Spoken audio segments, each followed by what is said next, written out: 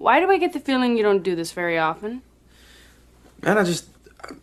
I'm not really good at talking to girls. Why? You're hot. What?